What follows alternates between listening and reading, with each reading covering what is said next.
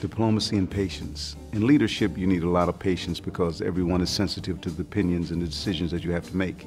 And sometimes there are personal decisions you have to make, so you have to be diplomatic in how you present them, but yet fair and yet firm.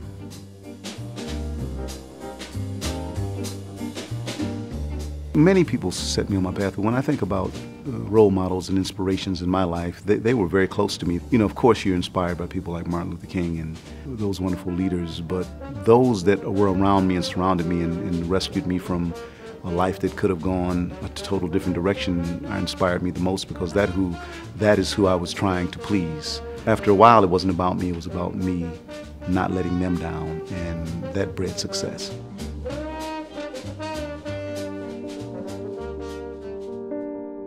When you've been blessed with a certain amount of success, you have a responsibility. It's a responsibility that just comes with the territory.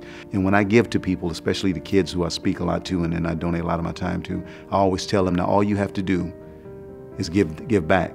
I have to stop and say, I, I, must be here for something. So if I don't do something positive with my life, if I don't give back, if I don't pull, if I don't push, if I don't fight for what I think is right, if I don't stand up for what's right, then I'm not doing, I'm not fulfilling my part of the bargain. I'm here. So what am I here for?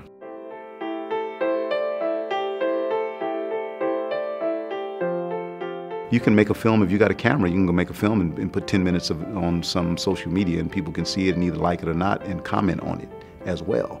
So that's changing everything. Uh, what has not changed is the purity and the truth of the art.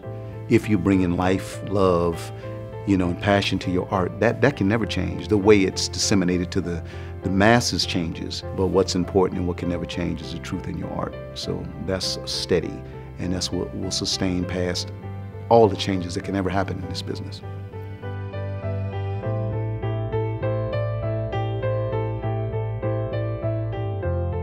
I wouldn't be successful if I didn't make a lot of mistakes. But it's not that I made the mistakes that makes me successful, it's that I learn from them. Yeah, I make mistakes all the time, and I, have done things that, that I regretted.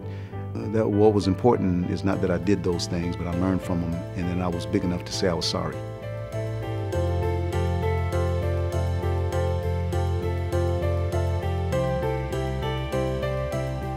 Well, one of the most important things is integrity, to be fair, to be smart. Don't just make uh, decisions by the seat of your pants, flying by the seat of your pants, you know, especially when they affect other people. But have integrity. Know what you're willing to do and what you're not willing to do. You have no power if you don't know you have it. You have absolutely no power, really. Power is something that if you understand you have it, then you have it. You can be the most powerful person in the world. If you don't know it, you have no power. So I don't try to stay relevant, I try to stay true. I realized some time ago that I had certain power in, in, in to make a difference through art. So when you take that ownership, responsibility comes with that.